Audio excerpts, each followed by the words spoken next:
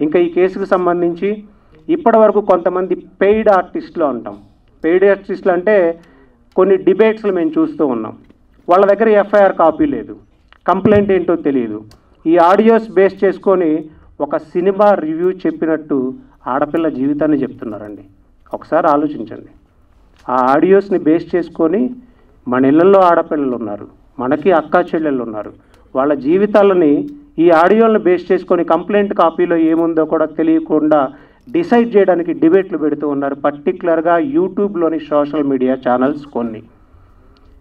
వారి మీద cyber crime వాళ్ళు కంప్లైంట్ నమోదు చేయడం జరిగింది. ఎఫ్ఐఆర్ రిజిస్టర్ చేయడం జరిగింది. ఎఫ్ఐఆర్ కాపీ కూడా తీసుకొని వచ్చాం. ఎప్పుడైతే హైకోర్టు డైరెక్షన్ ఇచ్చిందో వీళ్ళు ఎఫ్ఐఆర్ రిజిస్టర్ చేశారు. వాళ్ళ నేమ్స్ వచ్చేసి మీ అందరికీ తెలుసు. వాళ్ళు కూడా సోషల్ మీడియా ఇన్ఫ్లుయెన్సర్సే. సో దాసరి విజ్ఞాన్ అనే అతని మీద శేఖర్ భాష అనే వ్యక్తి మీద అండ్ కరాటే కళ్యాణి సారీ ఆమె నేమ్ తీసుకున్నందుకు ఆమె కూడా ఉమెన్ ఆమె కూడా ఆలోచించాలి. కరాటే కళ్యాణి గారి మీద ఇంకొక పర్సన్ మహిదర్ వైబ్స్. ఇవి ఆడపిల్లల జీవితాలండి సినిమా రివ్యూలు కాదు.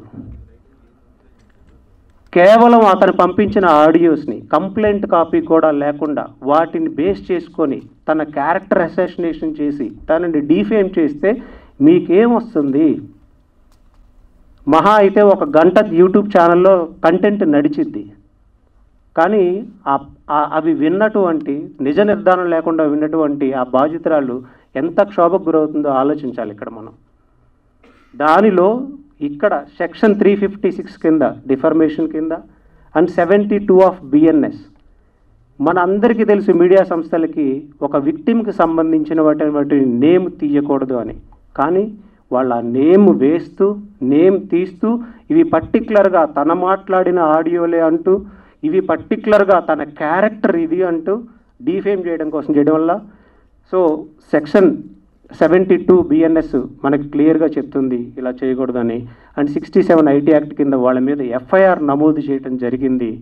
ఇప్పుడు ప్రస్తుతానికి వారు కూడా అబ్స్కాండ్లో ఉన్నారు. నిందితుడికి సహకరిస్తున్నారు. నిందితుడు ఎక్కడున్నారో వాళ్ళకి తెలుసు. అవుట్ ఆఫ్ కంట్రీలో ఉన్నాడని కూడా తెలుసు. అండ్ ఇంకొకటి మనం గమనించాలి. వాళ్ళ నాన్నగారి మీద కేసు ఎందుకు పెట్టారు? ఇమ్రాన్ అనే వ్యక్తి మీద కేసు ఎందుకు పెట్టారు? ఎఫ్ఐఆర్ కాపీలో ఎవరైనా చూశారండి? వాళ్ళ నాన్నగారి పేరుందని? ఎఫ్ఐఆర్ కాపీలో ఇమ్రాన్ ఏముందండి అక్యూజ్డ్గా?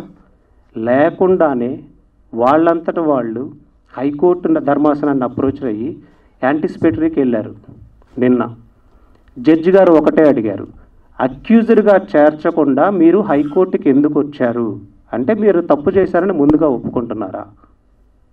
జడ్జి గారు అడిగిన ప్రశ్న ఒకవేళ పోలీసులు విచారణకు పిలిస్తే వాళ్ళ తండ్రి గారిని కానీ ఇమ్రాన్ని కానీ పిలిస్తే మీరు వెళ్ళి సహకరించండి. మీరు అక్యూజర్గా తేలితే అప్పుడు మీకు యాంటిసిపేటరీకి వచ్చే లిబర్టీ ఉంటుంది అని కూడా జడ్జి గారు చెప్పారు. సో దీనికి సంబంధించి ఇంకా అసలు వీళ్ళు ఏంటి అనే కొన్ని డీటెయిల్స్ కానీ మీకు ఏదైనా డౌట్స్ ఉన్నా అడగండి. అండ్ కొన్ని విషయాలు మీరు సపోర్ట్ చేసినందుకు మన ప్రొడ్యూసర్ ఈ సినిమా కొంచెం దీనిలో కొంత సినిమా వివాదం కూడా ఉంది కాబట్టి కాపీ రైట్స్కి సంబంధించిన విషయం కూడా ఉంది కాబట్టి మన Balachandra garu one of the co producer ఆయన అడ్రస్ చేస్తారండి.